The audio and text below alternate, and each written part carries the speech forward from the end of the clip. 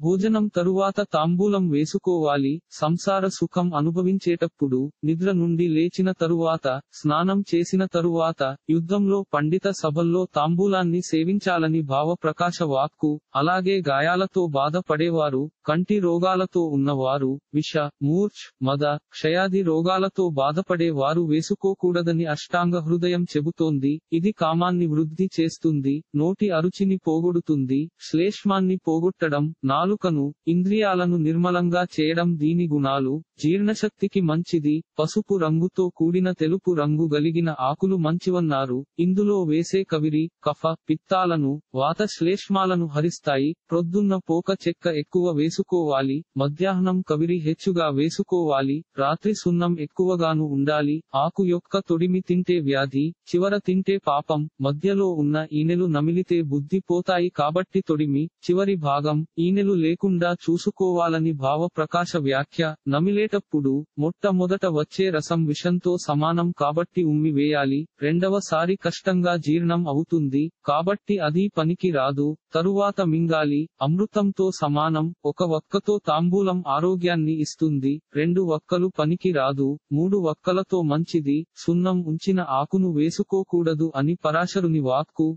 జాజికాయ లవంగాలు పచ్చ కర్పూరం తక్కోలం మిరియాలు వక్కతో కూడిన లేత తమల పాకులు వేసుకోవాలి వట్టి వక్కలు తినకూడదు ముందు వక్క వేసుకున్న తరువాత తమలపాకులు నమలకూడదు సున్నం బొటన వేలితో గాని మధ్య వేలుతో గాని రాసుకోవాలి దాని వల్ల ఆయుర్దాయం ఫలం అన్నారు ఆకలితో ఉన్నప్పుడు విరేచనాలకు మందు వేసుకున్న వారు వాడకూడదు ఇలాంటి మరిన్ని భక్తి విశేషాలు కోసం ఛానల్కి సబ్స్క్రైబ్ చేసి గంట నొక్కడం మర్చిపోకండి.